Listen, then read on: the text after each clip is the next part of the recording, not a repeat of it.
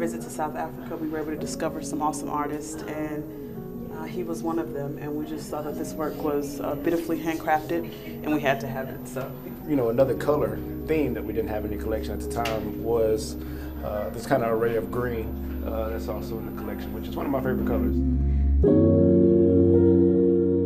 I just like how it symbolizes how walls separate us from what's on the other side, and I think that can be interpreted by the individual any way they see fit. So it's a powerful piece. One of the things that, that I love about this work is the title, so Joy and Pain, because we have a son about that age right now that's flipping and doing cartwheels. This young boy is in a state of joy, and he doesn't know what may be approaching in his future.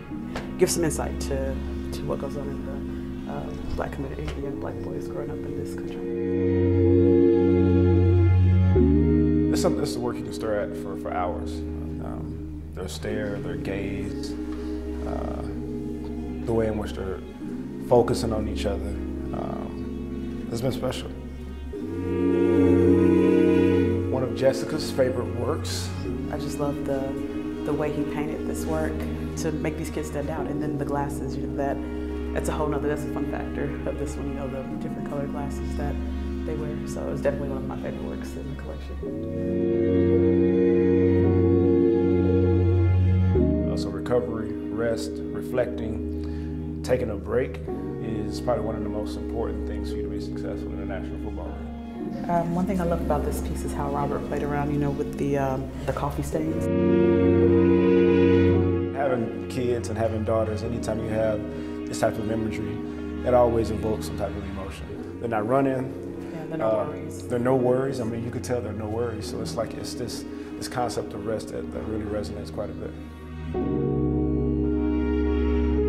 Um, she created this piece um, the week that George Floyd was murdered. The piece at first was completely black, and then she came back later and she painted the white just to represent the um, you know police brutality, you know white white on black crime, and then she used the red to represent bloodshed. A work that I literally is, is, it sits in my office, and a work that I I study uh, quite a bit.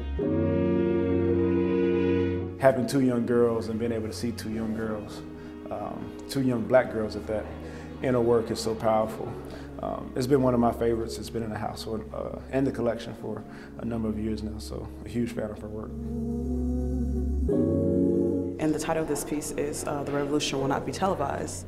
It just represents, um, you know, everything that's going on right now, you know, in conjunction. So I love how he drew from uh, history, you know, and, to, uh, and connected it with present day, you know, to make this piece. So it's one of my favorites.